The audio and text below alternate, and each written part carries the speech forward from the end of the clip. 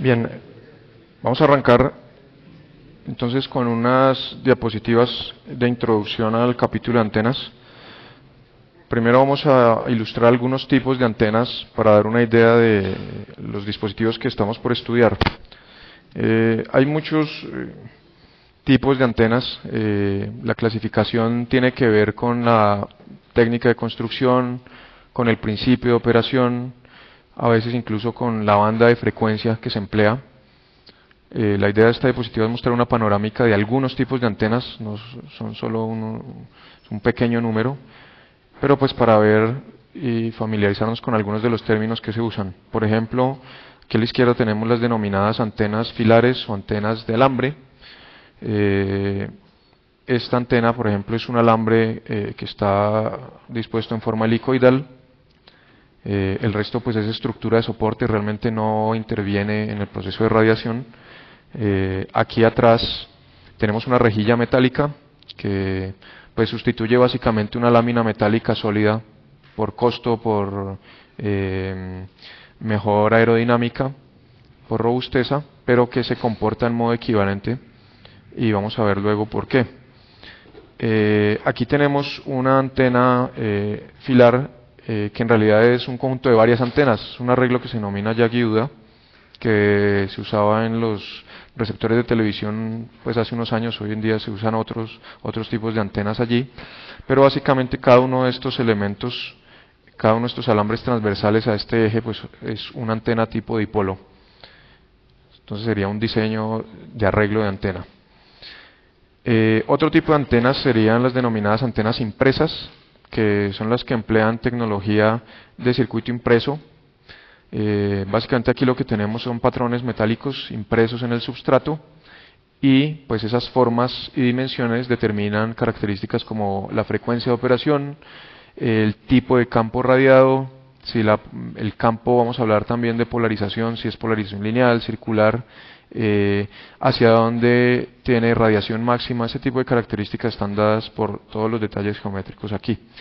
Em, tenemos, por ejemplo, un tag RFID que probablemente ustedes conocen, también es un tipo de antena impreso, donde lo que uno tiene básicamente aquí es una inductancia planar impresa allí y pues la adición de un elemento eh, para hacerlo resonante a la frecuencia de operación eh, aquí como elemento de circuito.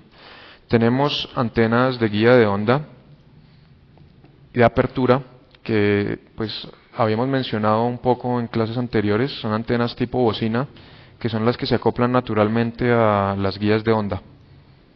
Tenemos las variantes más sencillas, las eh, bocinas piramidales que tenemos aquí.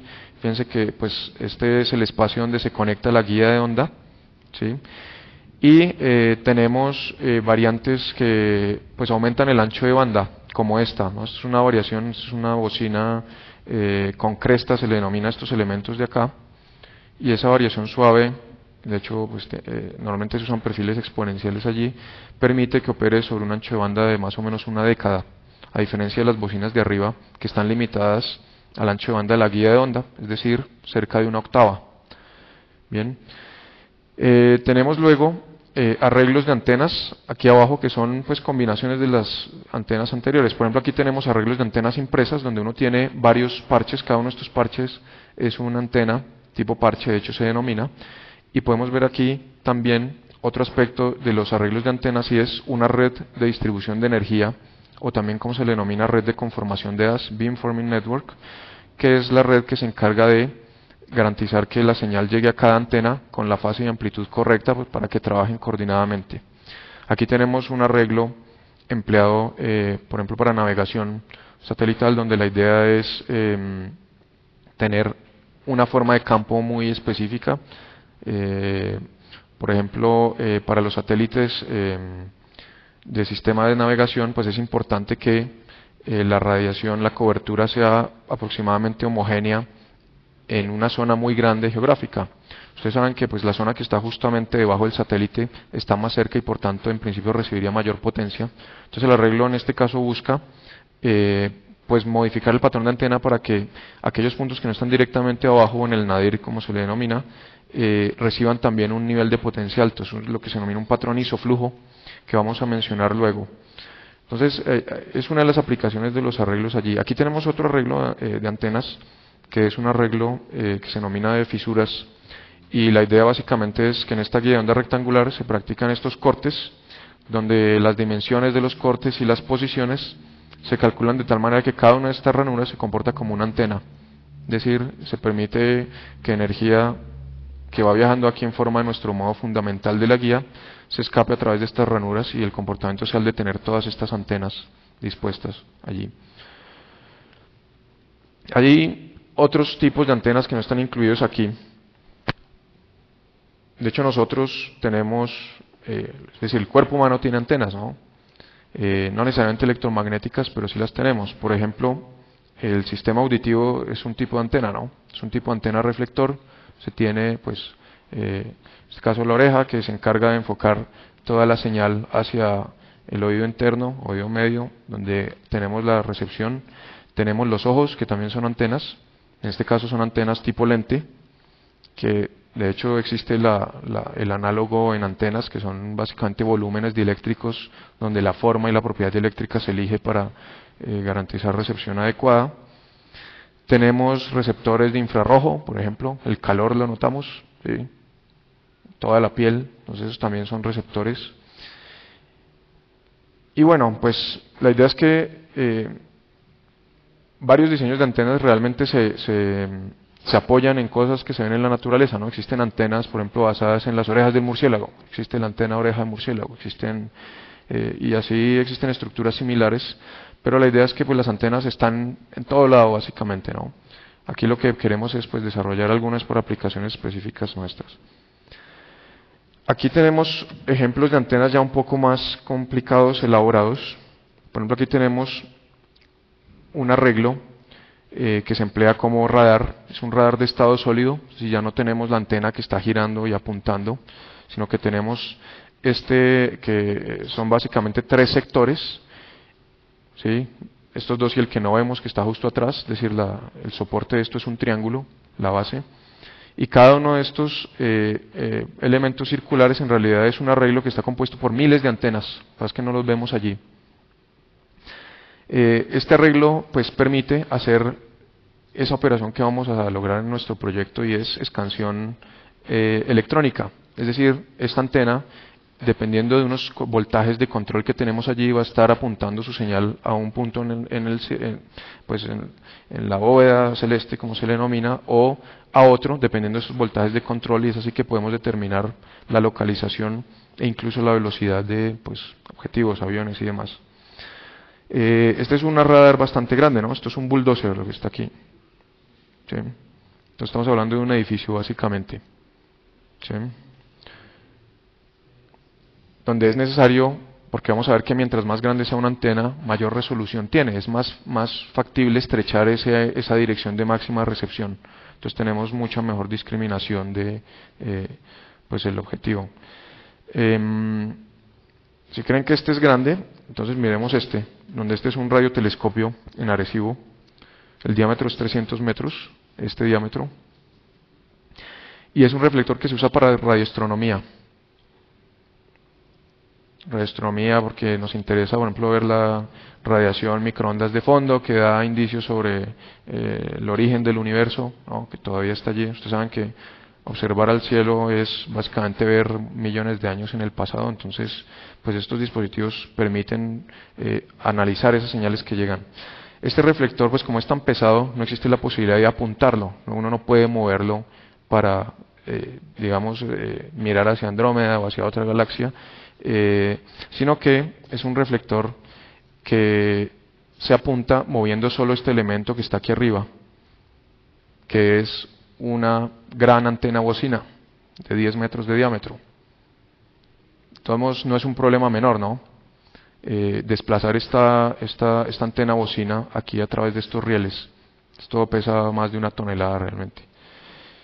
Em, entonces son así ejemplos como extremos de antenas.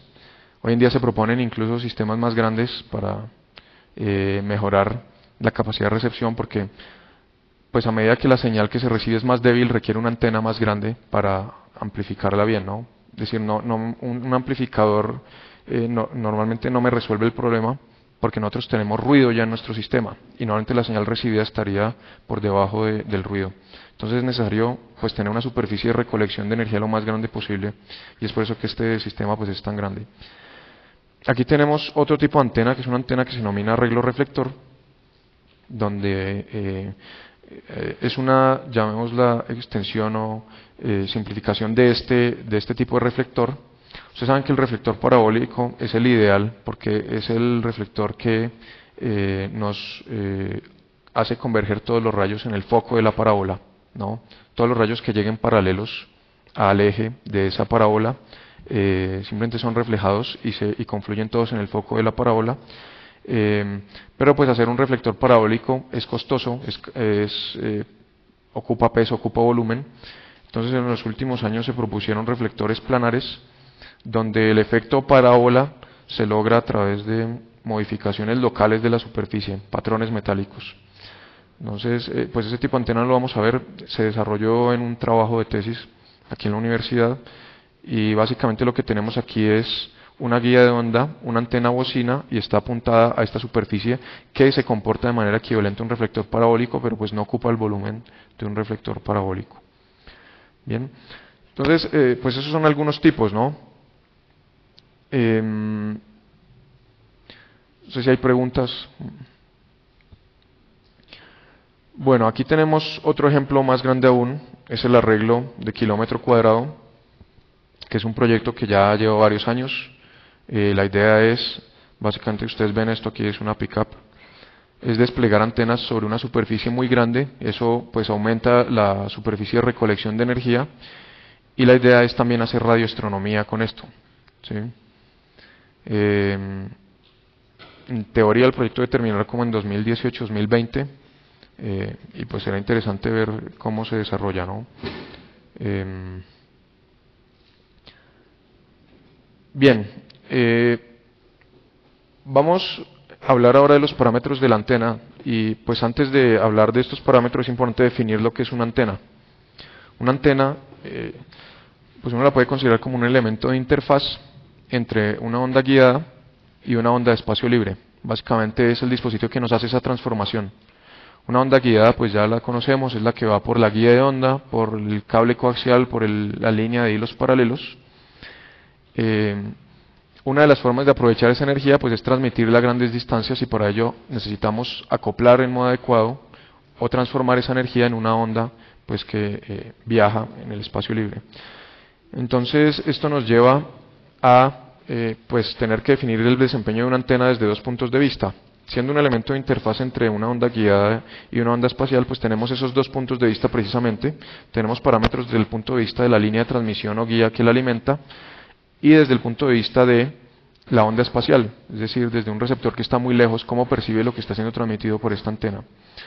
Entonces arranquemos con lo que se denomina el patrón de radiación, que es básicamente la característica espacial de radiación de la antena. Eh, es una función que nosotros podemos considerar de, las, de los ángulos, en este caso pueden ser teta y phi, y pues para cada dirección posible teta y phi tenemos eh, una amplitud de radiación. Eh, normalmente se da en términos de densidad de potencia o de intensidad de radiación. Vamos a ver a continuación qué son estos parámetros. Pero eh, visto gráficamente es esa superficie que tenemos allí. Es una superficie polar donde la distancia al origen dada para cada una de, cada una de las direcciones allí es proporcional a esa intensidad de radiación. Entonces aquí veríamos, por ejemplo, que esta antena pues tiene su máximo de radiación en dirección vertical, en la dirección Z, y que tiene algunos máximos locales de radiación en estas direcciones adicionales. Tenemos también que esta antena tiene algún nivel de radiación en la dirección contraria al máximo. Entonces nos lleva a definir algunos parámetros para caracterizar este patrón. Normalmente se visualizan esos patrones en cortes para poder caracterizar mejor las magnitudes allí de interés este correspondería a un corte de este patrón y entonces se definen estas características. Una sería el lóbulo principal, main lobe, que es el máximo, eh, pues el lóbulo o eh, en este caso podríamos llamarlo la zona que contiene la máxima cantidad de radiación. normalmente es pues donde se encuentra el interlocutor, nosotros lo apuntamos en dirección del interlocutor del canal inalámbrico. Tenemos adicionalmente a este los que se denominan lóbulos laterales, que son los que están justo al lado del principal, lóbulos son los adyacentes a él. Para nosotros esto normalmente va a ser un problema en transmisión porque estoy enviando energía en una dirección que no es de interés, ¿sí? Y en recepción porque recibo también de esas direcciones algo de energía. Vamos a ver también cómo el comportamiento de la antena es recíproco. Y eso significa que lo que digamos de la antena en transmisión aplica también en recepción. Entonces este patrón, pues aun cuando uno lo puede interpretar inicialmente como transmisión, también funciona en recepción. Significa que esta antena en recepción recibe mucho más fuertemente las ondas dirigiéndose en Z negativo. Bien, tenemos los lóbulos secundarios, que son todos los que no son el principal. De ellos, pues el, más importante es el lóbulo lateral. Y luego tenemos el denominado lóbulo trasero aquí, el back lobe, y es el que va justo en la dirección contraria al principal. Bien, el lóbulo principal, fíjense que si nosotros pensamos en la antena, en este caso como un elemento que busca comunicarse con otra antena ubicada a una cierta distancia, pues lo ideal sería que la energía se irradiara solo en esa dirección y no más. Sin embargo, pues vamos a ver que eso no es posible. Hay una limitación debido precisamente a las dimensiones de la antena. Eh, de manera que pues, eh, definimos unos parámetros que nos van a eh, determinar la capacidad de la antena de concentrar la energía. Estos son los denominados anchos de haz. Dado este lóbulo principal, pues si ese lóbulo principal es muy angosto, significa que nuestra energía está efectivamente siendo concentrada en una dirección. Mientras que si ese lóbulo principal es ancho, pues básicamente la, antena tiende a radiar en muchas direcciones.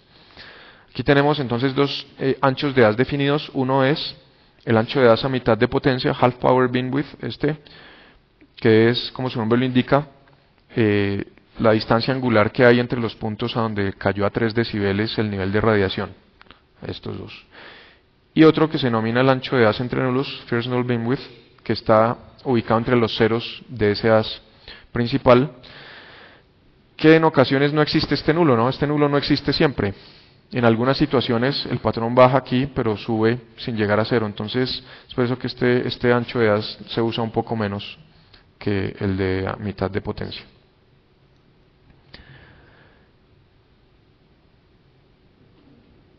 Aquí tenemos una ilustración de algunos tipos de interés, tipos de patrón de interés. Eh, arranquemos mencionando lo que se denomina un patrón isótropo. Eh, patrón isótropo básicamente sería una esfera y correspondería a una antena que eh, genera igual radiación en todas las direcciones. En realidad, eh, se demuestra que no es posible construir tal antena, ¿no? De manera que pues es un patrón ideal, pero nos sirve para hacer comparaciones respecto a las antenas que vayamos a fabricar. Es decir que pues todas las antenas son en mayor o menor medida direccionales. Esa es una de las características de las antenas. Siempre van a ser mayor, más o menos direccionales. Eso significa que la, el nivel de radiación depende de la dirección siempre va a haber alguna variación con la dirección.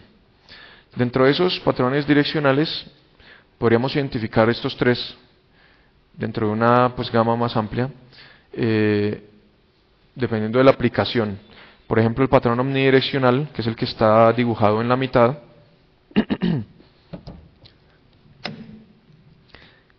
es un patrón que pues aquí fue simplemente abierto para que se viera, pero básicamente tiene la forma de un abanico pues que cubre todo el, todo el azimut, es un tipo de patrón que se emplea en radiodifusión. Básicamente el destinatario de la comunicación está en algún punto en el horizonte donde el ángulo no es conocido.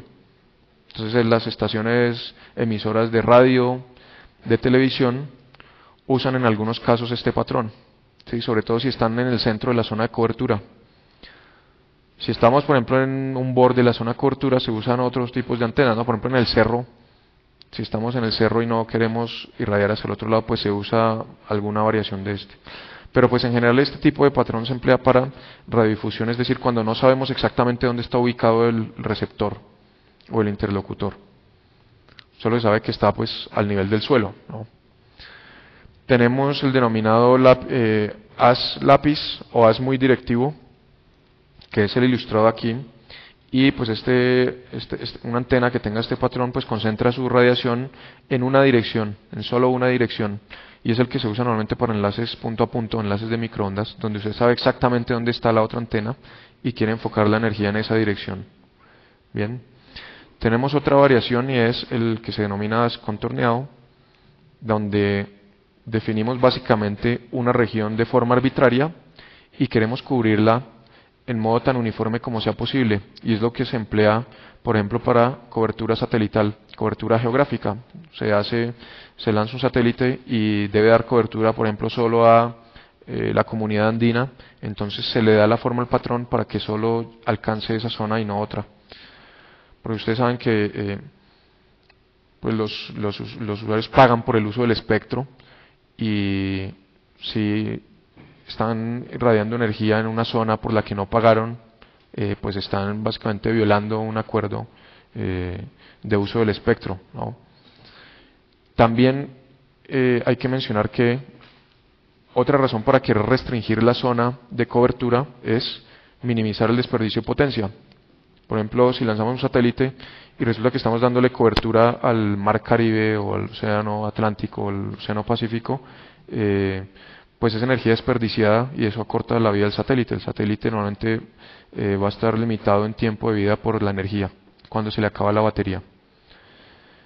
Entonces serían tres tipos, hay varios más, ¿no? Pero la idea es que el esfuerzo de ingeniería de antenas, parte de él, consiste en darle la forma al patrón de radiación, es decir, cómo redistribuimos la energía que entra por el puerto de antena en toda la esfera de observación.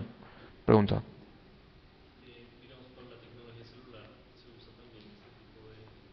Se usa una variante de este, ¿no? En realidad, eh,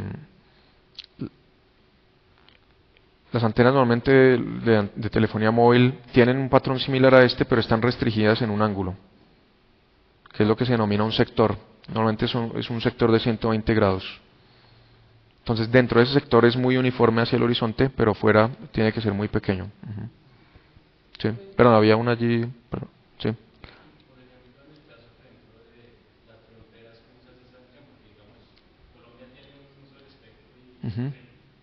Sí.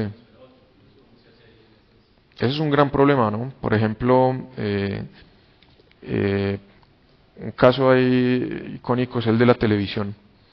Y la gente que vive en frontera normalmente ve canales de un lado y de otro y a veces se interfieren entre ellos, ¿no? Entonces, eh, por ejemplo, considerando que las, las, estaciones de transmisión más baratas pues usan este tipo de antena, eh, pues es difícil garantizar que la señal no va a sobrepasar las fronteras.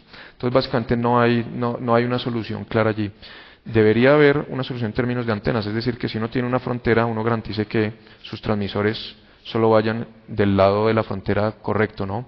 Pero en la práctica no sucede, es decir, no hay, no hay un acuerdo, una provisión allí. ¿sí? Entonces es un problema.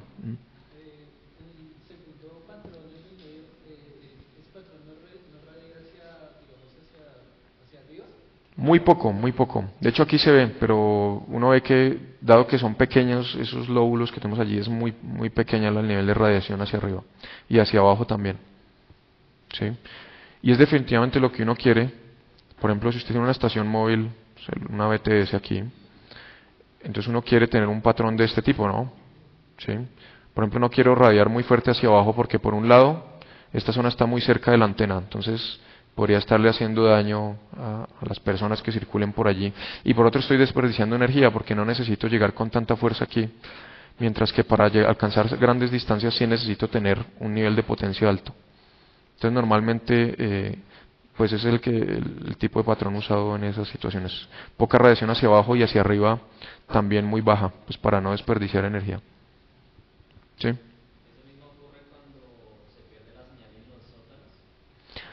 Bueno, ahí el problema con los sótanos realmente es más la estructura de, de, la construcción, ¿no? El suelo, normalmente los pisos tienen refuerzos, vigas metálicas y demás.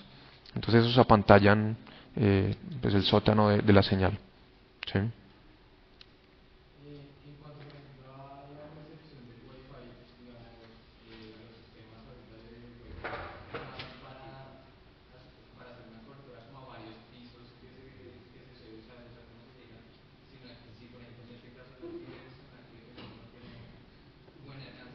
Sí, pues normalmente las, las antenas usadas en Wi-Fi eh, son sencillas, ¿no? Son antenas tipo monopolo. Y estas antenas tienen un patrón de radiación que es poco directivo, es básicamente una manzana, llamémoslo. Entonces irradian hacia acá, pero también hacia allá tienen una forma un nivel considerable de radiación. Entonces no son muy directivos, así que existe la posibilidad de recepción. Adicionalmente, en, en, los ambientes interiores, indoor, que se llama, existen las reflexiones múltiples, ¿no? Entonces, eso también hace posible llegar a sitios donde no sería posible de otra manera. De hecho, que hay múltiples reflexiones allí. Eso también es un problema a veces, ¿no? Pero en principio ayuda a mejorar la cobertura.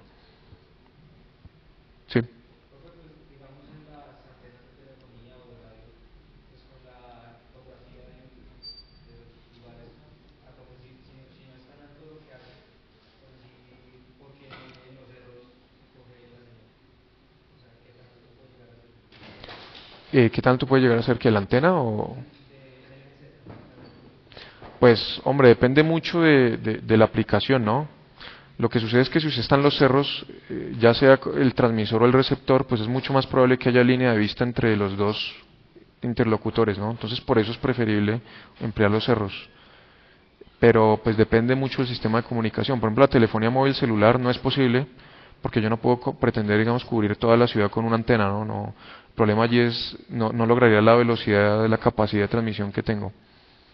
Pero para radiodifusión, pues sí es lo ideal, ¿no? Antenas de televisión, de radio, FM, AM, pues lo ideal es que con una yo cubra pues la mayor cantidad de territorio posible. Y en ese caso sí requiero pues la máxima altura.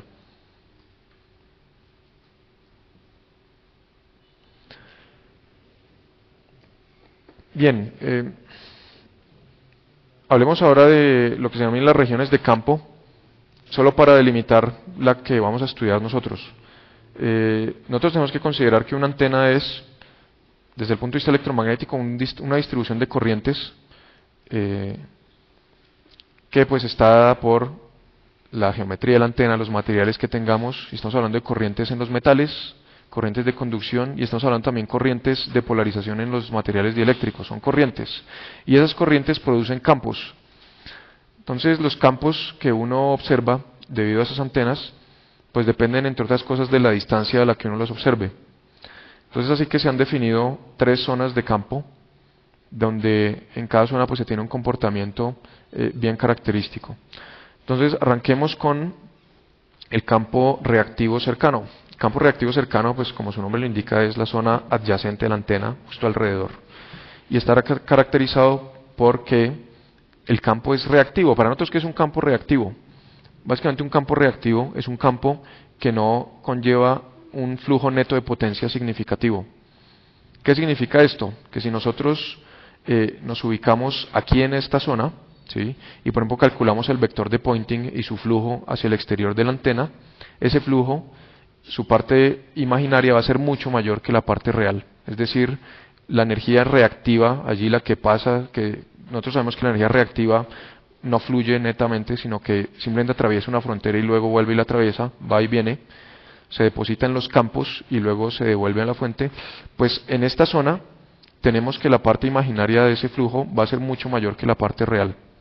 Entonces es una zona de campos altos, eh, donde la mayor parte de la energía en realidad está intercambiándose entre los campos y la antena, ¿sí? Y es una zona de difícil análisis, porque pues no podemos hacer allí algunas aproximaciones que vamos a ver luego, que son las que se pueden, que son posibles cuando estamos muy lejos de la antena. Además de eso, en la mayoría de las aplicaciones no es de mucho interés esa zona, porque las antenas normalmente van a estar hechas para comunicarse a grandes distancias. Entonces, la antena receptora no va a estar en el campo cercano de la otra. Siempre están en su campo lejano mutuamente, de manera que el campo lejano pues es el de mayor interés en esos casos. Eso no es cierto obviamente en otros casos, ¿no? Eh, para un terminal móvil, por ejemplo, que está en cercanía de la cabeza, pues es muy importante estudiar el comportamiento en campo cercano, o para sistemas que están en cercanía de plataformas, o para antenas que están cerca entre sí, como por ejemplo el caso de eh, Near Field Communications, o para el caso de eh, algunos sistemas de transmisión de energía inalámbricos, pues ahí sí es de interés el campo cercano, pero aquí no, no lo vamos a estudiar. tenemos en el otro extremo lo que se denomina el campo lejano, y en el campo lejano, básicamente el flujo de potencia es real. Si nosotros calculamos la integral del vector de Poynting de flujo, pues la parte real es mucho mayor que la imaginaria. Y por eso se le denomina también la zona eh, eh, campo lejano radiante. ¿sí? Y en el intermedio de esas dos tenemos la que se denomina campo cercano radiante, es decir, comparte características de los dos. Básicamente lo que tenemos es que esas parte real y parte imaginaria del flujo de potencia son comparables. Bien, aquí tenemos algunos umbrales que se han definido para eh, determinar los radios de esas zonas que normalmente se asumen como esferas alrededor de la antena. Por ejemplo, el campo eh, cercano reactivo se define como aquel conjunto de puntos que está a una distancia menor o igual a este valor, donde este D es el diámetro de la antena. El diámetro, pues simplemente tenemos que tomar la antena y, eh, encerrarla en la esfera más pequeña posible, ese es el diámetro de la antena. Un punto importante allí es que la antena a veces es más de lo que uno cree, ¿no? Por ejemplo, si uno tiene este reflector parabólico, pero él está soportado en un mástil metálico y se sabe que ese mástil interactúa de manera fuerte con el campo, pues resulta que ese mástil también hace parte de la antena porque en él se generan corrientes secundarias que también contribuyen al campo total. Entonces, en algunas situaciones debe incluirse también la estructura de soporte. Bien, aquí pues tenemos un umbral que se calcularía caso por caso. De todos modos, eh, yo me enfocaría en el umbral de campo lejano, o de la zona, también se denomina la zona de Fraunhofer, donde pues tenemos básicamente el comportamiento radiativo. Desde esa distancia la antena se ve simplemente como un elemento que nos está transmitiendo energía. Eh, el umbral que se define es este, es decir, el radio es mayor que 2 de lambda, 2 de cuadrado sobre lambda, donde está la longitud de onda de operación. Entonces aquí vemos pues nuevamente el efecto de la longitud de onda. Em, esa zona, además de ser la que nos va a interesar para estos enlaces, a gran distancia, pues tiene unas, unas eh, propiedades interesantes. Por ejemplo, la primera de ellas es que cuando yo miro la distribución angular de radiación es independiente de la distancia. ¿Qué significa esto? Significa que si nosotros nos desplazamos, digamos, duplicamos la distancia en cualquier dirección, lo que vamos a obtener es un nivel de radiación que es la cuarta parte de lo que se tenía a la distancia inicial, y eso sin importar de la, dirección en la que nos movamos. ¿Eso qué, qué implicaciones tiene? Pues básicamente que nosotros al caracterizar el patrón de radiación de la antena en campo lejano, pues vamos a ver esta misma característica de distribución de la energía sin importar si el receptor está a un kilómetro, a 10 o a 100 kilómetros. Es decir, el lóbulo principal siempre va a tener esa misma forma y ese mismo valor respecto a los lóbulos secundarios. Entonces es bastante útil por esa razón. En el campo lejano también se verifican propiedades como que los campos son totalmente transversales. De hecho, lo que sucede allí es que si estamos muy lejos, lo que vamos a ver es una onda plana. La onda en realidad es esférica, pero cuando estamos muy lejos esa superficie esférica se ve localmente como un plano. Entonces la onda que vamos a ver allí es plana, los campos son totalmente transversales y de hecho cumplen la regla de la mano derecha, se comportan como una onda plana normal en espacio libre. Entonces eso nos simplifica aún más el problema, porque por ejemplo sabemos que E y H son mutuamente ortogonales, que están relacionados por la impedancia de espacio libre, y eso pues, eh, nos simplifica bastante el problema. Em, ¿Hay preguntas aquí? ¿Sí?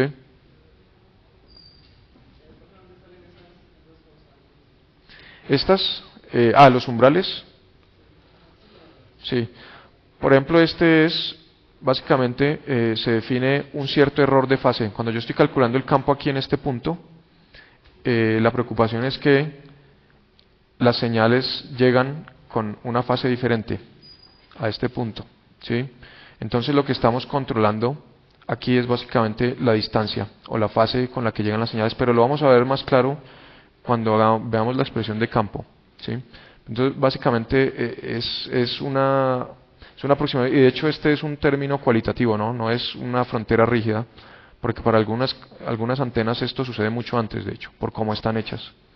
Por ejemplo, para las antenas tipo reflector ese es el caso. Las antenas reflector a veces son muy grandes, pero el campo lejano no necesariamente está tan lejos como lo diría esta ecuación. Entonces es bastante cualitativa la noción allí. Es, por eso no... Vamos a verlo ya con la expresión luego.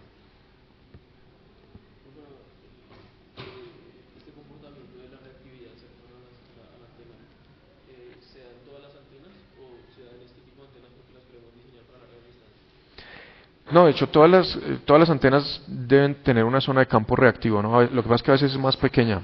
Depende mucho del tipo de antena que, se fabrica. Pero siempre va a existir una zona de campo reactivo. ¿sí? Es decir, es, eh, es inevitable el comportamiento reactivo. Sobre todo porque, eh, circuitalmente hablando, cualquier antena siempre va a ser un circuito RLC serio paralelo. Entonces, básicamente, pues son esos elementos L y C los que cuentan por el comportamiento reactivo. Se pueden reducir y demás, pero no se puede hacer sobre un ancho de banda muy amplio, entonces siempre va a haber algunas frecuencias donde es más reactivo. No necesariamente, porque de hecho es simplificada porque los niveles son mucho más fuertes, ¿no? Entonces es complicada, digamos, e, el análisis detallado, pero muchas veces es innecesario porque las antenas están tan cerca que reciben de cualquier manera, ¿no? Entonces es como un, es un, intercambio allí de, de, ventajas.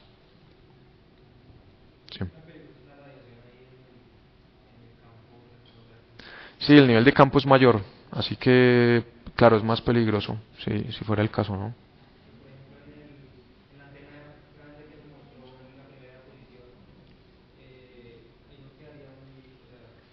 ¿Cuál? ¿El radar? Sí, claro, nadie quiere estar por ahí cerca. Además es un radar, es decir, está usando eh, muchos kilovatios, muchos. Entonces ahí si normalmente no debe haber personal. Aquí posiblemente están haciéndole mantenimiento, están seguros de que todo está apagado y demás. Que el nivel de campo puede ser muy grande, ¿no? De hecho los radares son muy fuertes, ¿no? La gente que vive cerca de aeropuertos y eso normalmente ven cómo el radar interfiere con, no sé, teléfonos inalámbricos y eh, alarmas de carros, no sé, bueno. Entonces sí, tal vez son los dispositivos de mayor potencia, ¿no? Aquí no es un problema, por ejemplo, en este caso, porque esto es solo para recepción, entonces no hay un problema allí. Mm.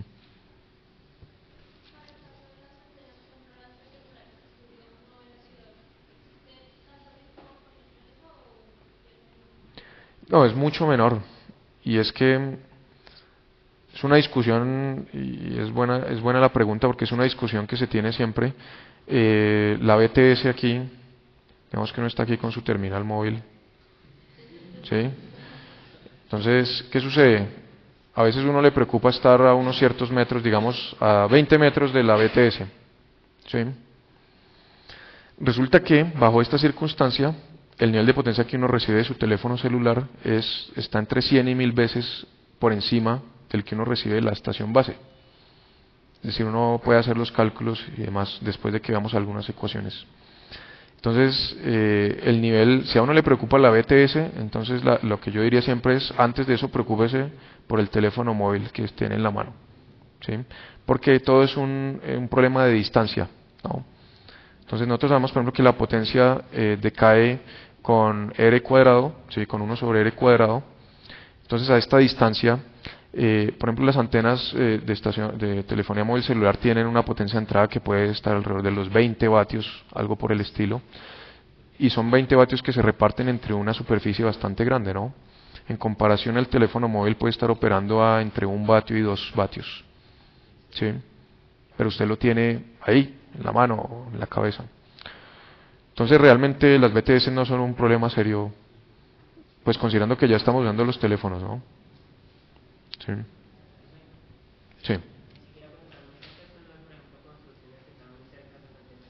Sí. Sí. Por ejemplo, ahí tiene uno que entrar a ver cómo está dispuesto, ¿no? Por ejemplo, si una si la antena está en el techo de la casa y esa antena está bien hecha, no va a afectar eh, lo que tiene abajo precisamente porque el patrón es de cobertura hacia el horizonte, ¿no? Por ejemplo, esta antena tiene un patrón así, entonces va a tener un nivel bajo de radiación en esta dirección. Lo que pasa es que hay otros problemas, ¿no? Estas, estas antenas normalmente tienen una tremenda planta eléctrica allí. El ruido, la vibración, a veces es más dañina que lo que uno pasa por, Es decir, el nivel de campo tal vez es el daño menor allí, ¿no?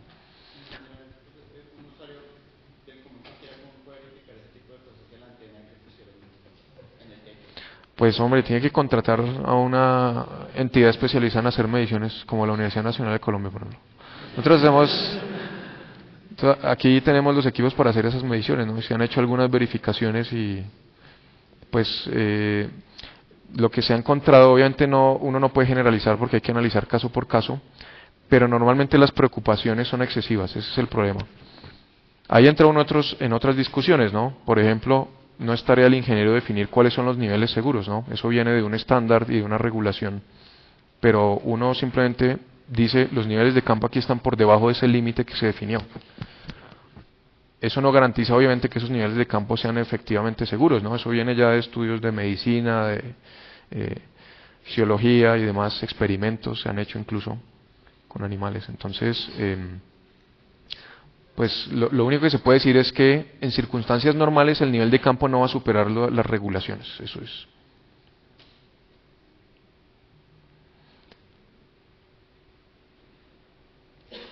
Bien, eh, es una discusión, lo sé, muy, muy, eh, muy relevante, muy actual de hecho, y por eso es importante también que tratemos de darle forma a lo que vamos a ver aquí.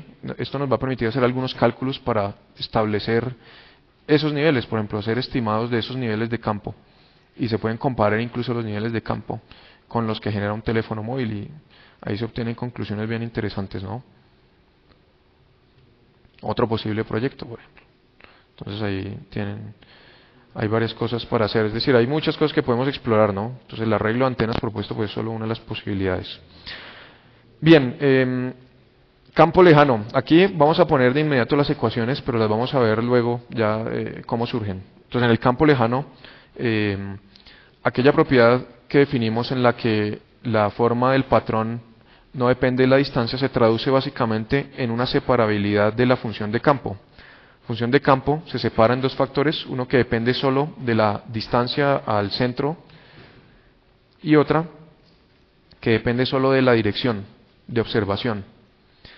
Esta que depende solo de la dirección de observación es la que tiene el patrón, es la que nos dice, por ejemplo, en esta dirección y radio más que en esta, y se representa gráficamente como la superficie que vimos al comienzo. Este término, este factor que depende solo de la distancia r, es lo que se denomina una onda esférica universal.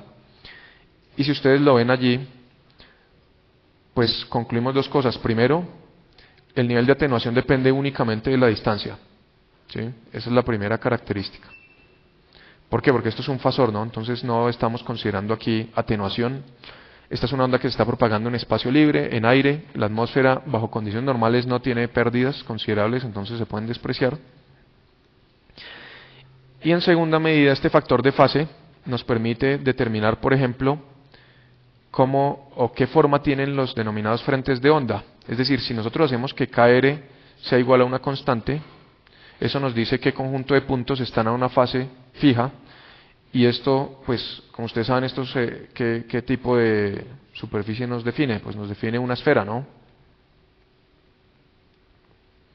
Entonces lo que vamos a tener aquí es un frente de fase esférico y es un frente de fase esférico que se está propagando en la dirección R positiva. Cuando nosotros decíamos sea la menos J beta Z viaja en Z positivo, pues sea la menos J KR viaja en R positivo. Entonces lo que tenemos es un frente de fase esférico que emana de lo que sería el centro de fase de la antena. Y son esferas. Ahora, en cada una de las direcciones de observación, esa esfera pues tiene una amplitud diferente, la, amplitud del patrón del campo radiado pues sí depende de la dirección. ¿no? Entonces la, la, representación esférica corresponde solo a la fase, la fase se propaga como esferas. Bien, aquí tenemos las expresiones de campo que son las de las ondas planas. Es decir, ustedes recuerdan que E, H y la dirección de propagación conforman una terna cartesiana tenemos que la magnitud de E es igual a la magnitud de H multiplicada por la impedancia del espacio libre. Y esa impedancia pues es raíz de mu 0 sobre epsilon 0, que es en espacio libre es, esto es 120 pi ohms.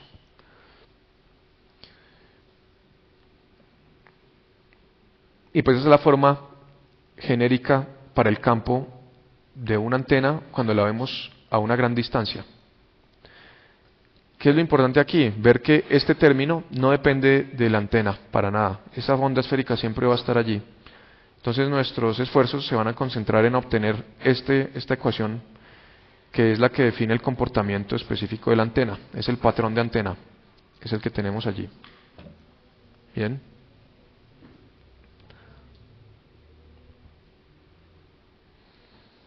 Bueno, entonces recordemos aquel teorema de Poynting para calcular, por ejemplo, la potencia radiada por una antena. Ustedes recuerdan el teorema de Poynting nos decía, pues básicamente eh, era una expresión de balance energético. Aquí vamos a considerar de aquellos términos que aparecían únicamente el que representaba el flujo saliente de potencia, donde ustedes recuerdan que ese flujo saliente se obtenía como una integral de flujo de este vector que es E cruz H conjugado, que es el denominado vector de Poynting, y nos concentramos en la parte real para considerar radiación, es decir, energía que sale y no vuelve. Esta potencia radiada pues es un parámetro bien útil, ¿no? Básicamente nosotros queremos que la potencia radiada sea toda la que le aplicamos a la antena. Es decir, que no haya, por ejemplo, reflexión, es decir, que la antena nos regrese una parte de la potencia que le estamos aplicando, eso, eso no es deseado. O, por ejemplo, que buena parte de la energía se disipa en forma de calor en la antena tampoco es deseado. Entonces queremos maximizar esta función. Es la idea. Bien, aquí eh, hay un primer inconveniente y es el siguiente. Este, eh, esta forma eh, del vector de Poynting y el conocimiento que ya tenemos sobre la forma de campo, esto que va como 1 sobre r, ¿sí? nos dice que el vector de Poynting decae como 1 sobre r cuadrado, ¿no es cierto? Y es esto lo que justifica nuestra afirmación antes, que la potencia decae como 1 sobre el radio al cuadrado. Sin embargo, pues considerando que nosotros estamos hablando de un campo lejano y que estamos a una gran distancia, pues seguir haciendo referencia a la distancia al r es un problema, ¿no? ¿Cuánto vale r? Entonces por eso que se define una cantidad diferente. Por ejemplo, a esta se le denomina densidad de radiación un medio de la parte real de esto se denomina intensidad de radiación y está en vatios por metro cuadrado. Nos dice básicamente si yo tengo un receptor ideal de un metro cuadrado de área transversal, cuánta potencia logro recoger. El problema es que como decrece con 1 sobre r cuadrado, pues no se acomoda muy bien a nuestro, nuestra visión de campo lejano. Entonces se define esta cantidad que se denomina intensidad de radiación, donde ya no hablamos de vatios por metro cuadrado, sino de vatios por esteroradián. ¿Qué es un esteroradián? Ustedes recuerdan, pues el radián básicamente es nuestro ángulo phi está medido en radianes y se mide simplemente como la longitud de arco dividida entre el radio. Para eh, la situación 3D, la situación es similar, lo que uno hace es imaginarse ya no un arco de circunferencia, sino un segmento de esfera aquí, y entonces nuestro ángulo esteroradián se define como el área que tenemos allí, dividida entre el radio al cuadrado de la esfera que está definiéndose allí. Entonces, fíjense que eso es independiente de si yo tomo esta esfera que está aquí o si tomo esta esfera que está aquí. Sigue siendo el mismo ángulo sólido. De igual manera que en este caso tenemos el mismo ángulo para esta circunferencia o para esta.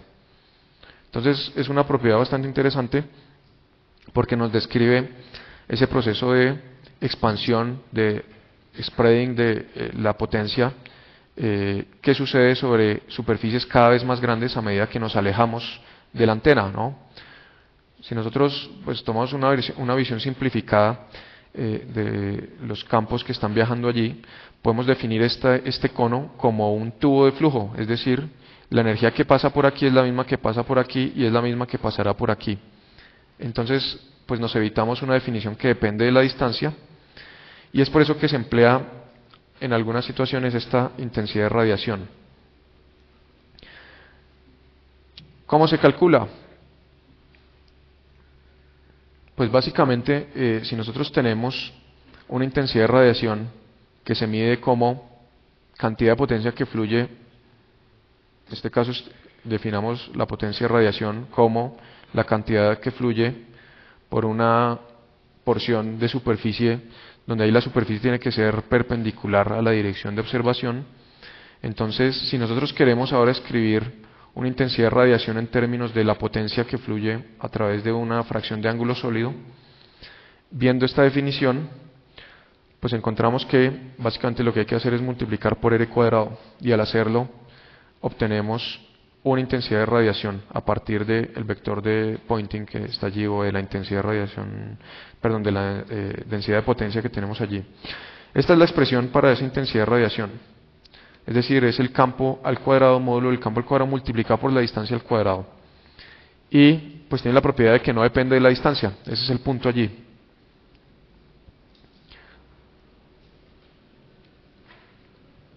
Bien, preguntas. ¿Sí? Lo que pasa es que aquí depende de R, pero E se escribe como E a la menos J KR sobre 4 pi r. Y como está al cuadrado, pues entonces hay un r cuadrado, entonces se cancelan, ¿no? Entonces lo importante es mencionar esto, que a pesar de que independientemente esto y esto dependen de r, ya su multiplicación no depende, ¿no? Ese es el punto. Y es, pues, eh, entonces una forma útil de caracterizar en campo lejano ese, ese dispositivo. ¿Hay otra pregunta? ¿Sí?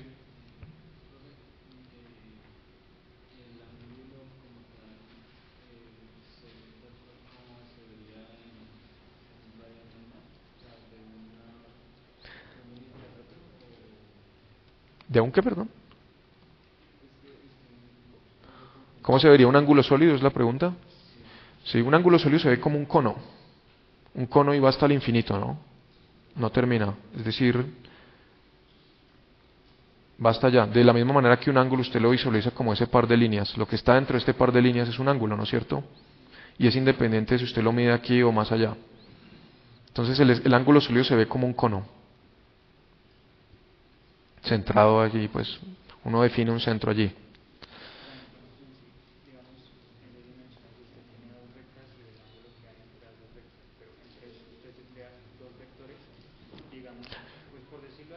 Sí, sí, entiendo.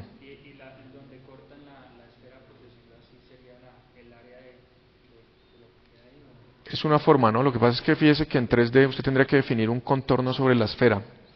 Entonces, ¿qué podría hacer? Por ejemplo, eh, imaginarse sobre la esfera eh, cuatro planos, por ejemplo. Imagínese cuatro planos que pasan por el origen y cuando llegan a la esfera definen básicamente un cuadrado esférico. Es decir, un cuadrado, algo que parece un cuadrado pero que está sobre una esfera. Entonces, ese sería un ángulo sólido, por ejemplo. Entonces tendríamos aquí esto delimitado por esos cuatro planos, donde todos esos cuatro planos pasan por el centro. Sería una forma de verlo.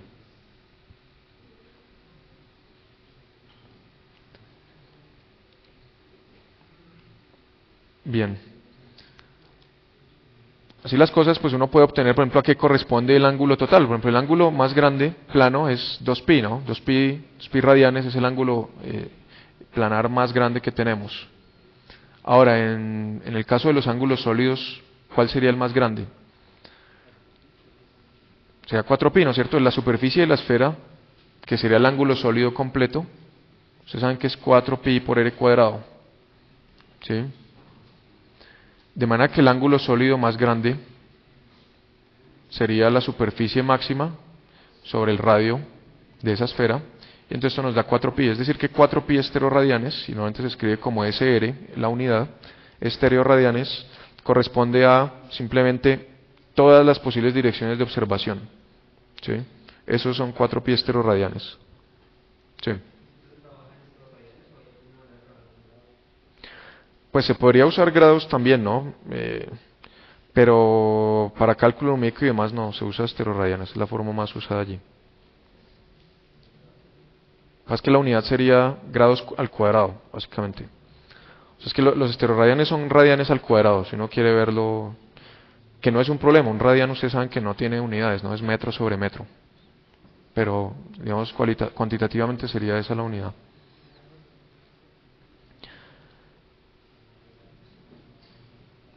Bien, definamos ahora un parámetro que trata de eh, cuantificar la capacidad de la antena de concentrar energía en una dirección específica. Ese parámetro se denomina directividad. Fíjense que si yo quiero, por ejemplo, pensemos una función eh, de una variable, digamos que tenemos una función como esta y luego tengo una función como esta, entonces intuitivamente yo le asignaría una mayor directividad a esta que tiene un pico ahí en el centro.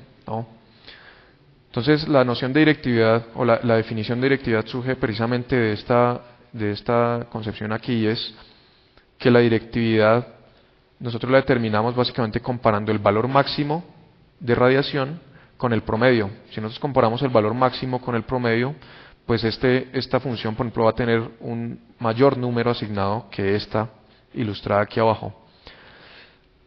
Fíjense que nos interesa hacer esa comparación porque la antena, como la estamos viendo, simplemente es un elemento de redistribución de la energía. Toma la energía que le aplicamos en su puerto, en sus cables, en su guía de onda, y la redistribuye o la distribuye a través de todos los ángulos posibles de observación. En algunas direcciones envía más, en otras menos. Aquí tenemos la definición entonces. Uno puede definirla como está escrita aquí, pero vamos a ampliar el término más común y es la directividad como referida al valor máximo sobre el valor promedio, donde ese valor máximo y promedio uno puede evaluarlo sobre la intensidad de radiación o sobre cualquier otra cantidad que sea proporcional a la potencia. Podría ser también la eh, densidad em, de potencia que vimos antes, es decir, un medio del módulo del cuadrado sobre, dos, eh, sobre eta cero, por ejemplo. Es decir, cualquier cantidad que sea proporcional a la potencia nos sirve allí, porque como estamos haciendo la división, pues cualquier factor constante allí se va a cancelar. Aquí em, tenemos eh, una forma simplificada y es darse cuenta de que la potencia, la, perdón, la intensidad promedio de radiación se puede obtener calculando la potencia total radiada por la antena y dividirla entre el ángulo sólido total, que es 4pi, ¿no es cierto? Si nosotros hacemos esa división, es decir, potencia radiada sobre 4pi esteroradianes, pues eso nos da una intensidad de radiación promedio, donde el promedio se hace sobre todas las direcciones. Entonces, por eso que podemos pasar a esta forma, donde esa intensidad de radiación promedio es la potencia radiada dividida entre 4pi.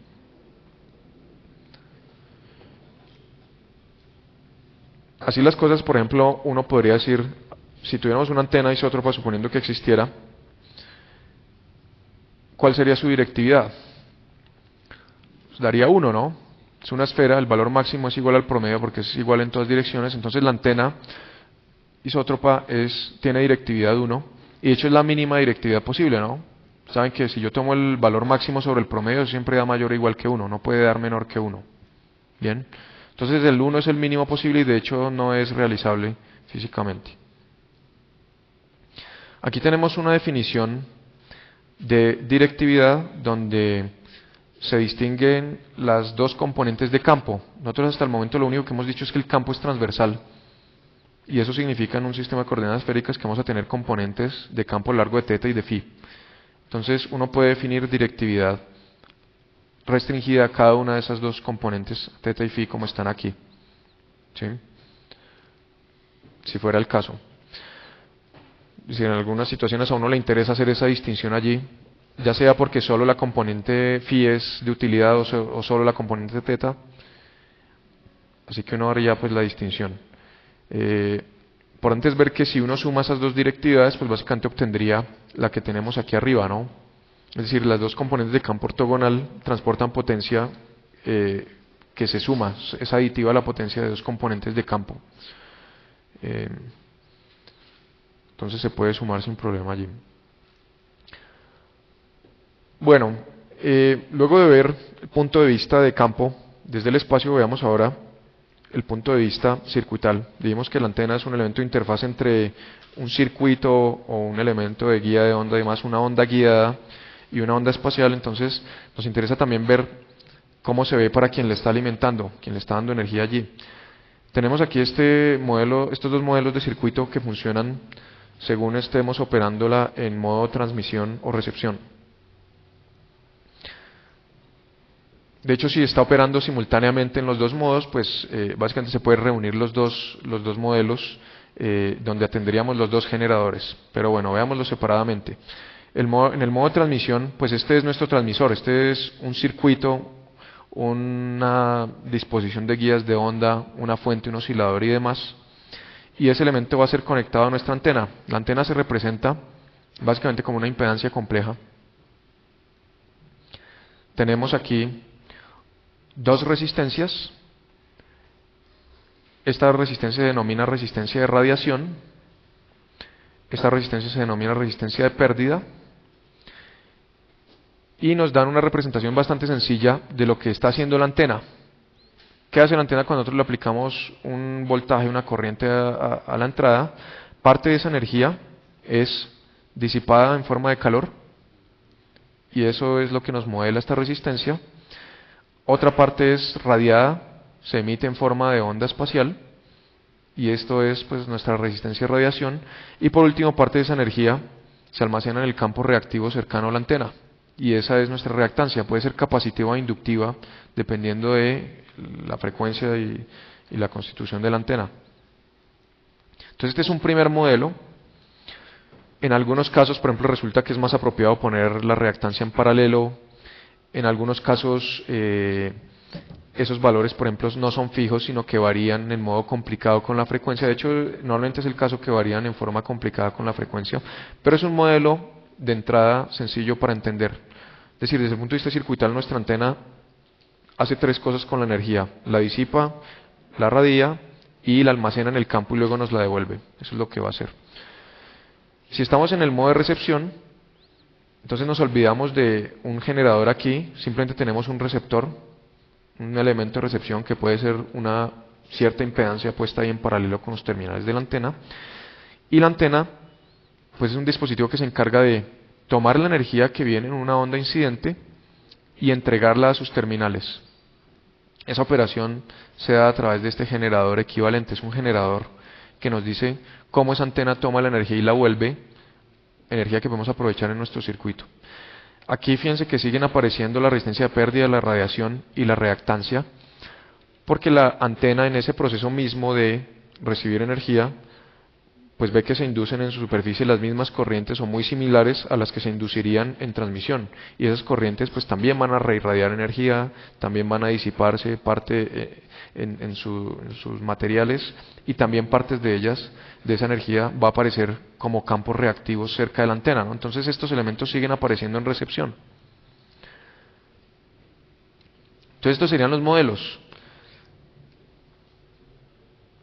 Si tuviéramos simultáneamente transmisión y recepción, pues tendríamos básicamente el generador aquí también y estaríamos trabajando con un modelo pues generalizado. Sí. Normalmente sí. ¿Por qué digo normalmente? Porque es que en algunas situaciones la antena en transmisión y en recepción eh, se le ve cambiado eh, drásticamente algunos de sus parámetros. Por ejemplo, eh, si esta impedancia de transmisor y de receptor son muy diferentes, entonces es posible que cambien algunos de los parámetros que aparecen aquí. ¿sí? Pero normalmente no, es decir, normalmente no es el caso. Normalmente uno diseña su antena y su sistema a 50 ohms, entonces tanto tenemos aquí una fuente con 50 ohms a la salida que aquí recepción. La diferencia importante sería si, por ejemplo, nuestro generador tiene una impedancia de salida muy baja, ¿no? Desde el punto de vista de recepción, aquí tendríamos un cortocircuito, porque es una fuente de voltaje, y eso puede cambiar drásticamente el comportamiento de la antena, la forma de las corrientes en la antena, entonces podría cambiar estas resistencias. ¿sí? Entonces, en general no son las mismas, pero en la mayoría de los casos podemos asumirlo.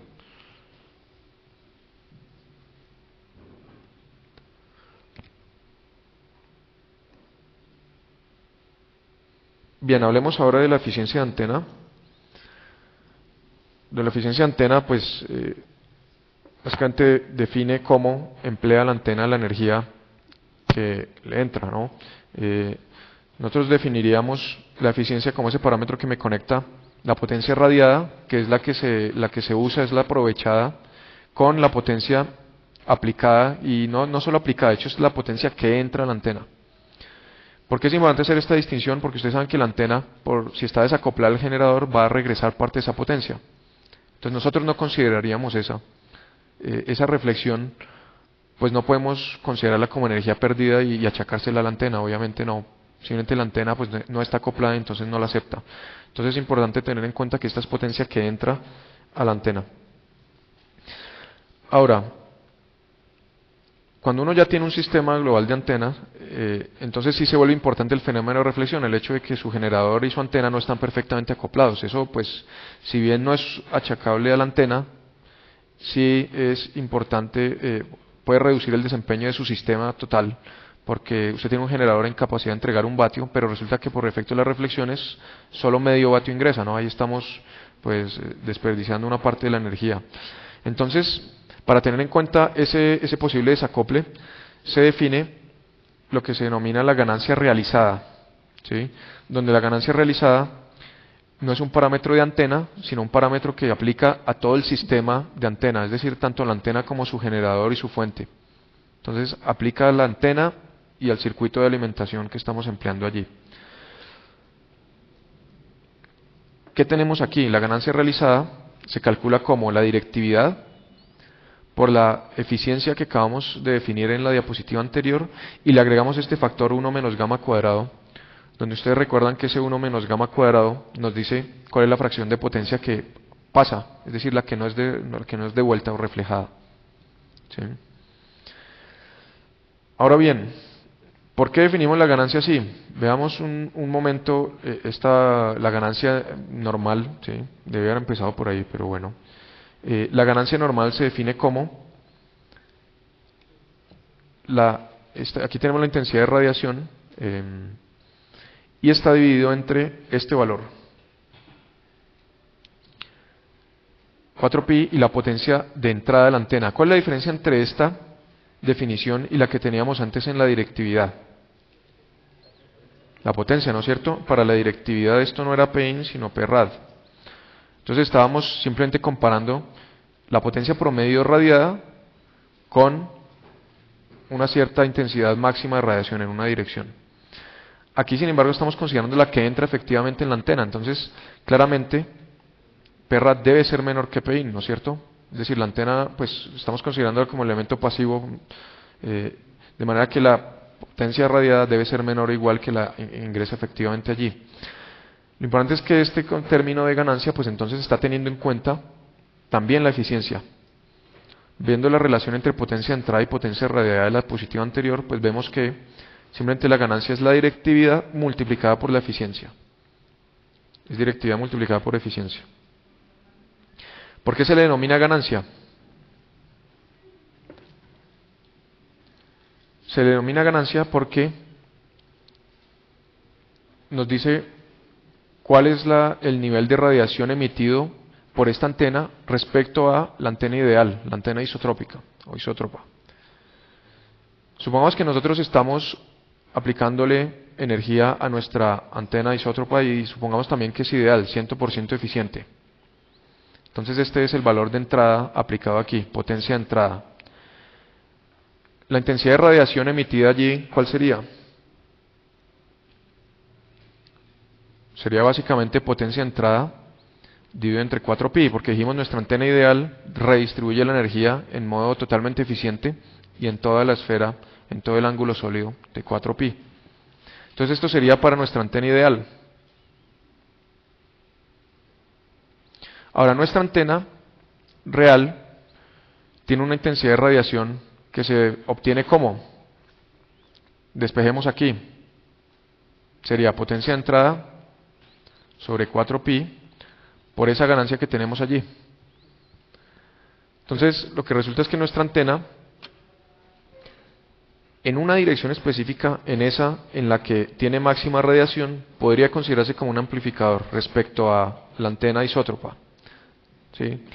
No estamos logrando aquí amplificación de energía, hay que, ser, hay que ser enfáticos sobre eso. Lo único que estamos haciendo es redistribuir la energía, es decir, mientras que esta es nuestra antena nuestra antena eh, real podría tener un patrón que podría ser este.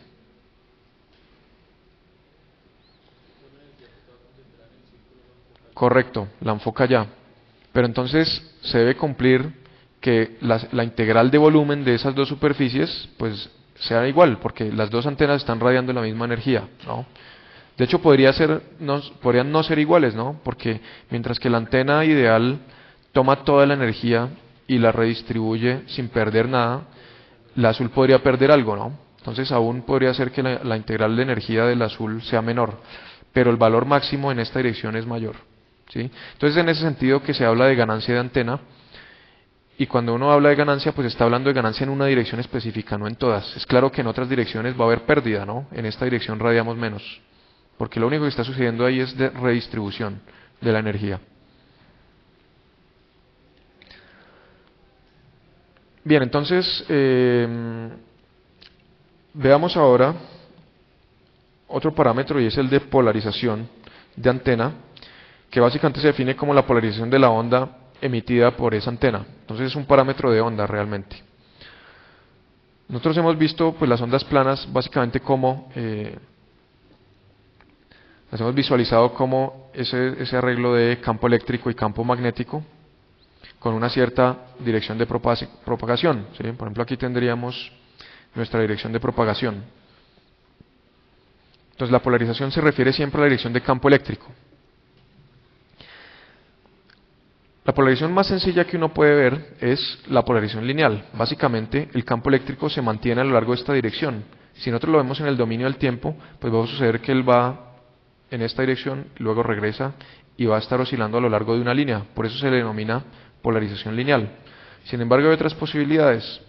Por ejemplo, si tenemos un campo eléctrico que está compuesto de una parte real y una parte imaginaria, y esas dos partes corresponden a vectores que no son paralelos, pues entonces vamos a definir otra trayectoria que ya no va a ser una línea. Aquí tenemos las expresiones.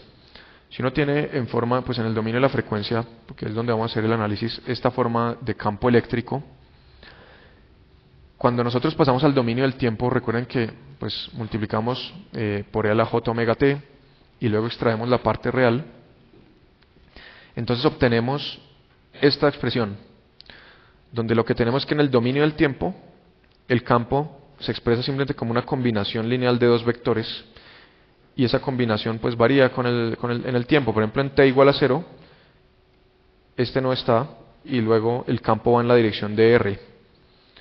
Cuando el ángulo omega t sea 90 grados, entonces va a desaparecer este y el campo va a estar en dirección EI. Entonces vemos que si esos ER y EI no son paralelos, entonces el campo de alguna manera se va a desplazar de aquí a aquí. Entonces para caracterizar todas las posibilidades, pues se definen los diferentes estados de polarización que nos determinan cuál es esa curva que va a describir la punta del vector de campo eléctrico. Eso es lo que vamos a determinar aquí.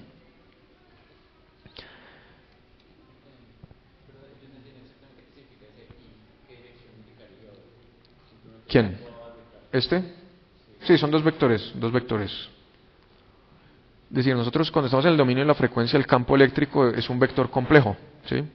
Entonces, aquí lo que vamos a tener es la parte real de ese vector, digamos que es esta, es un vector, y vamos a tener la parte imaginaria, es la forma más general del campo.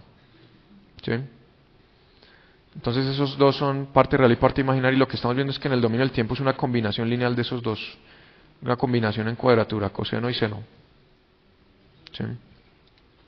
En general, como vamos a ver luego, nuestro campo radiado se obtiene como una integral sobre las corrientes. Ese, ese, ese campo nos resulta en un vector complejo. Entonces lo que queremos ver es qué forma tiene el campo en el dominio del tiempo a partir de, ese vector complejo allí. Entonces, eh, veamos aquí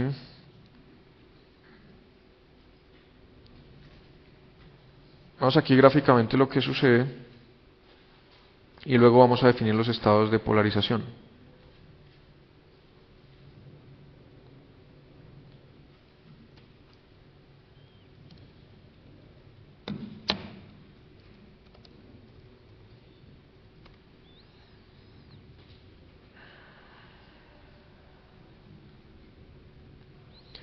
Supongamos que estamos en el plano. Fíjense que el problema en el dominio de la frecuencia, es una de las primeras cosas, en el dominio de la frecuencia el campo está limitado a un plano siempre.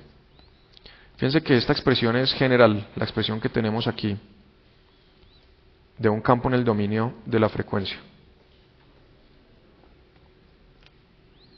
Es una expresión general, no puede ser más general que esto. Y lo que encontramos es que en el dominio del tiempo el campo se produce como combinación lineal de dos vectores. Eso nos define un plano, ¿no es cierto? Entonces, la primera conclusión es que uno en el dominio de la frecuencia no puede ver, por ejemplo, que el vector se mueve describiendo una esfera, por ejemplo. No es posible. Siempre se va a describir en una trayectoria en un plano. Bien. Así que nosotros aquí nos vamos a ubicar en ese plano y vamos a ver, por ejemplo, digamos que la parte real va a lo largo de esta dirección. Entonces este sería el vector E real y el campo eléctrico va a estar oscilando como lo vemos allí. Digamos que también tiene una parte imaginaria. ¿sí? Entonces, comencemos con la forma más fácil y es que de alguna manera son paralelos esos dos vectores, parte real y parte imaginaria. Entonces simplemente se suman coseno por parte real más seno por parte imaginaria, pues resulta esta oscilación que tenemos allí. Cambia eso sí cuando la parte imaginaria no es paralela. Cuando tenemos aquí la parte imaginaria a lo largo de esa dirección, entonces el campo eléctrico describe esa trayectoria. Entonces ustedes ven que eso es una elipse. Esa elipse, por ejemplo, ahí está desplazándose en sentido horario, pero si el campo eh, está en esta dirección, en la parte imaginaria del vector, pues está viajando en sentido antihorario. ¿Sí? Adicionalmente, si son completamente ortogonales, y tiene la misma magnitud, pues tenemos algo que tiende a parecerse a un círculo, ¿no? Entonces, lo que vemos aquí es que el campo eléctrico en un punto dado en el espacio, cuando usted lo observa, eh, va a describir variantes de elipses. ¿sí? Un círculo es una forma de elipse, ¿no? y una recta también es una forma de elipse, son casos extremos de elipse.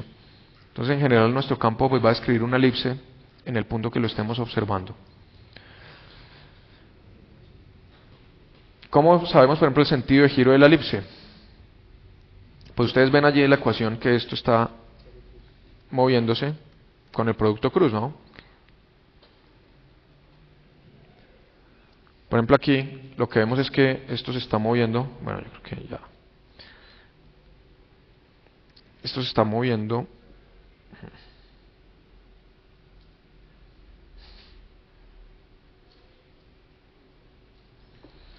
Entonces en t igual a 0 estamos en R real.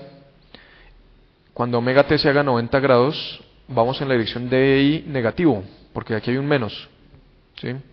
Entonces eso nos da una idea de cuál va a ser el sentido de giro. ¿sí? Así que vamos a ver los diferentes casos. Por ejemplo, las condiciones para que haya polarización lineal, vimos que pues, se requiere que ER y EI sean paralelos, o que alguno de los dos sea cero también, es otra posibilidad. Entonces aquí tenemos esta condición que dice que el producto cruz debe ser cero, pero pues alguno de los dos debe ser diferente de cero. ¿Listo? Esa sería la definición de un campo con polarización lineal. La polarización circular es el otro caso que analizamos y es eh, consiste en que los dos vectores son ortogonales, ER y EI son ortogonales y tienen la misma magnitud, porque si no, pues habríamos descrito también una elipse en ese caso. Entonces aquí lo que tenemos es esto. El producto cruz, el módulo del producto cruz es igual a i cuadrado y es igual también a r cuadrado, es decir, es igual a los módulos individuales. ¿sí? Y pues obviamente necesitamos que el campo sea diferente de cero. Y si no se cumple ninguna de esas dos, pues tenemos el caso general de polarización elíptica. Ahora, para determinar la dirección de giro, entonces recordemos cómo era la situación. Nosotros teníamos aquí ER y este era EI. Entonces recordemos que esto giraba de R a EI negativo, es decir, gira en esta dirección. Entonces uno podría definir una dirección o polarización horaria antihoraria, pero fíjense que, que ahí, pues si yo lo veo de un lado, está girando en sentido horario, si le doy la vuelta, si cambio el punto de vista, estoy viéndolo en sentido antihorario. Entonces, para eliminar esa ambigüedad, se involucra también allí la dirección de propagación. ¿sí? ¿Cómo funciona? Pues usando la regla de la mano derecha y de la mano izquierda. Si cuando usted sigue la dirección del campo eléctrico con sus dedos y usando su mano derecha el pulgar apunta en la dirección de propagación, entonces eso es polarización de mano derecha. En el caso contrario es polarización de mano izquierda. Entonces, por ejemplo, aquí lo que estamos viendo es en qué dirección está rotando. Va de ER a I. ¿Cómo podríamos asignarle una dirección de giro a este campo aquí? Justamente a través del producto cruz, ¿no es cierto? Si nosotros hacemos, hacemos por ejemplo EI cruz ER, una posibilidad. Entonces, ¿hacia dónde apunta? Está entrando, ¿no es cierto?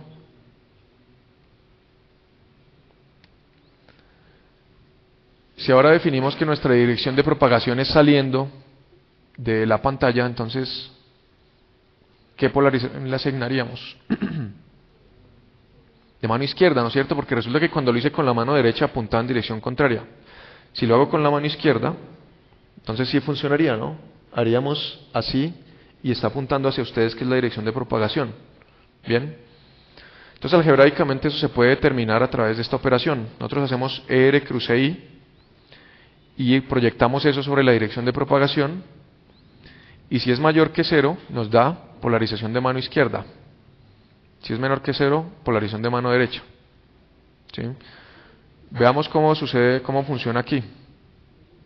R cruce I va hacia afuera o hacia adentro.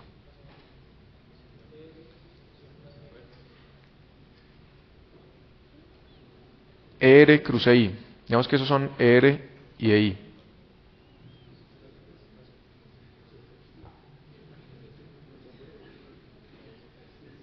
R cruce I.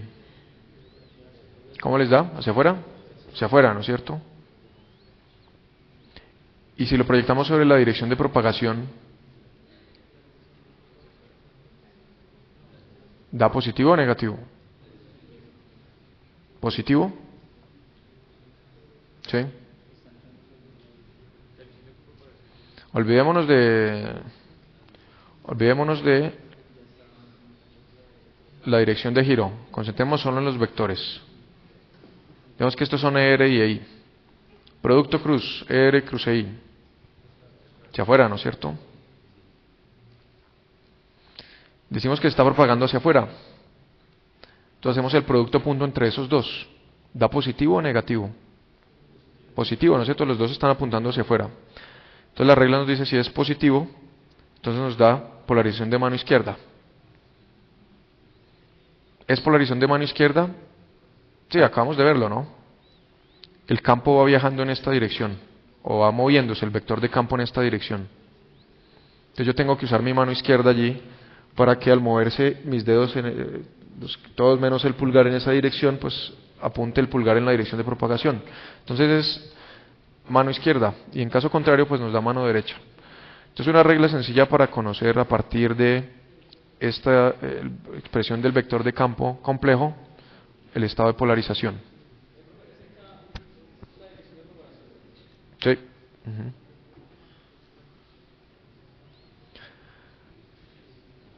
Bien, ¿por qué es importante la polarización? No se preguntará, ¿por qué es importante? ¿Por qué me interesa saber si es elíptica, si es circular, si es lineal?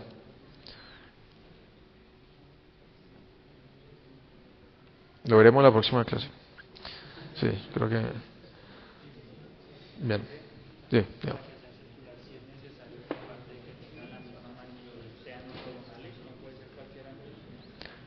No, no puede ser porque mmm, siempre va a definir allí un,